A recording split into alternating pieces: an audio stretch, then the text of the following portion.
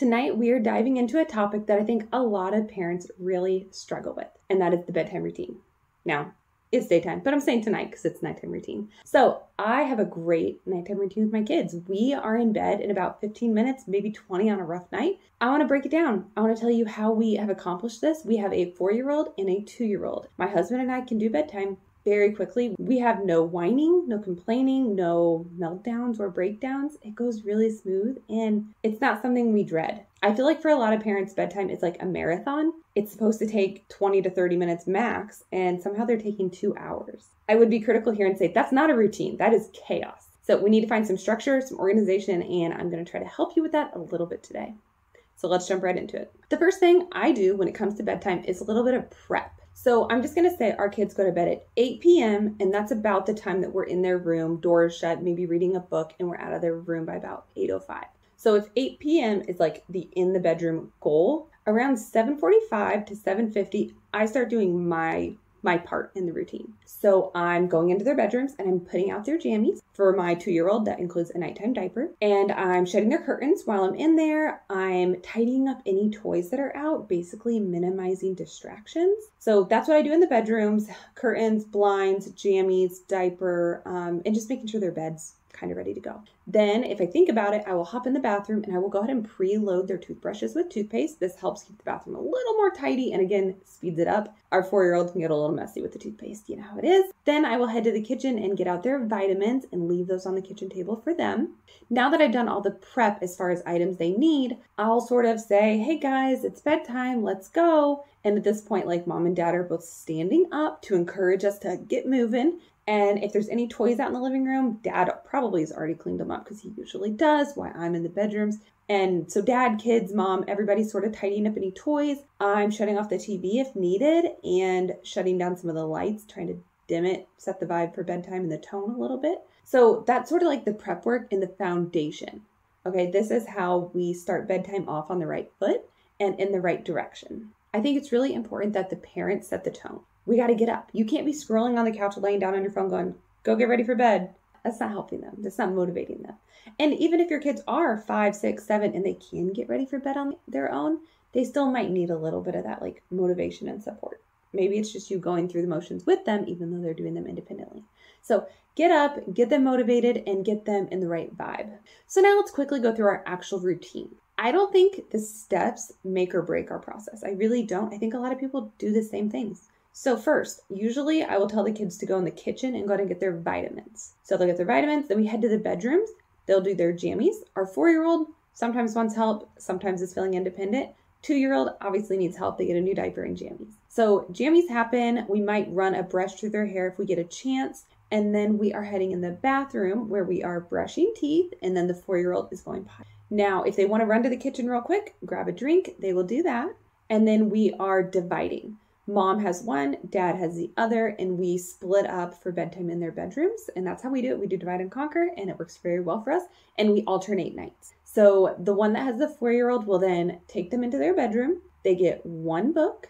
And then if they need one more drink of water, sometimes they'll get that one more drink of water.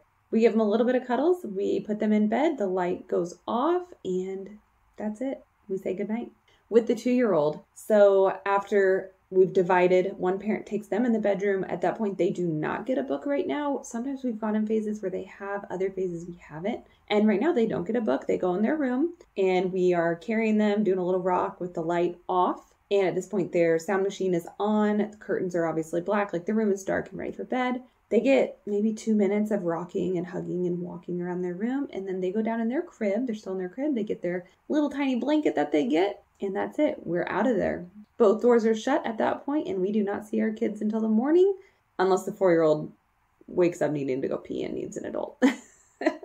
Here's the thing though, I really don't think the steps matter. You probably do very similar steps to that, but maybe yours takes two hours. It's not what you do, I believe it's how you do it.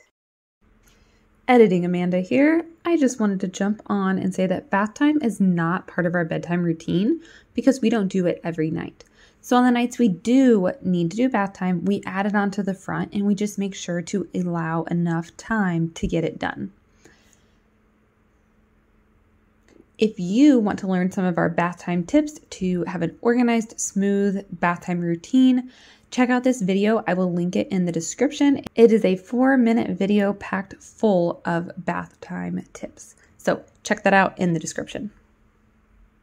So we've set standards in our household. We have consistency, we have routines, and we just have like a level that we hold our kids to. Meaning, when it is bedtime, if we're in the middle of jammies, they do not go play with their toys. They know it is not toy time because we have set that standard and expectation. They don't run around the house. They don't get distracted and play with things because they know we are on a mission at that point, and the mission is bedtime. They know that's what we are doing. And you can do different things with this. You can do a like nighttime checklist. You could do a dry erase board. There's different ones with like magnets so you're not having to write things out. You can do that. We don't have any of that we have no physical schedule in our four year old's room, but sometimes we will play kind of like pretend checklist. And if they just are like kind of like la da da da, we'll be like, hey, what's next on your list? And we'll hold up our hand and be like, what's next on the list? And it's just their pretend list. And they'll look at their hand and they'll go, you know, jammies are on, check, brush teeth, check. And then we'll maybe help them or they'll say potty, not check. And then they'll go run to the potty. So we'll do that. And that keeps them like task focused. And like again we are just we're going down that routine. We do the same steps. We might slightly change the order some nights but it's not a big deal because it's the same general structure. I do also want to touch on if one of us for whatever reason is gone or out of town if we are down to one parent to the two children what we do is we get all the way ready for bed put the big one in their room with the light on in their book. They can flip through their book. We will go put the baby down first the two year old get them completely down into bed, and then we will go in the four year old's room and read their book and finally put them down. Both my husband and I are very capable of doing the routine on our own. We've done it plenty of times when needed. It's very doable, even if you are outnumbered as the parent. I think the key to a successful bedtime routine is consistency, organization, routines, and setting standards and expectations. What you tolerate and expect from your children will basically result in how bedtime unfolds if you allow them to run around for two hours and just exude chaos, that's what they're going to do because they're toddlers and they're crazy sometimes. It's up to you to set the tone, the standards, and the general flow of bedtime. So, with a little planning, organization, and consistency, you can turn bedtime from that huge marathon battle into a smooth, peaceful, calm 15, maybe 20 minute routine. It is very, very doable.